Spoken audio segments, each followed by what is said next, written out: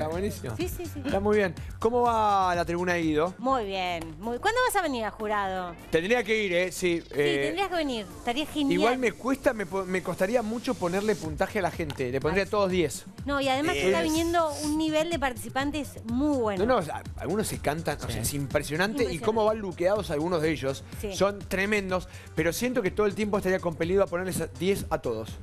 Y es Y no, no, difícil. está, no sí. es bueno tampoco, porque, ¿no? Sí, sí, Sí, sí. yo ya me acostumbré, pero porque bueno, ya empiezo a comparar con otros participantes y ahí se me empezó a hacer más fácil. Pero al principio para mí eran todos 10, 10, 10, 10. La verdad que lo estoy pasando Hay muy una bien. Rocío mala ahí donde dice no me gusta.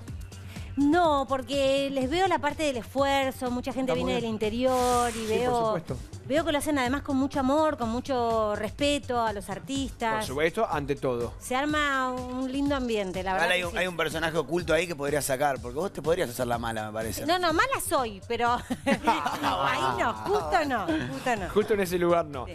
Bueno, que sea con mucha mer como bueno, siempre. muchas gracias, te esperamos.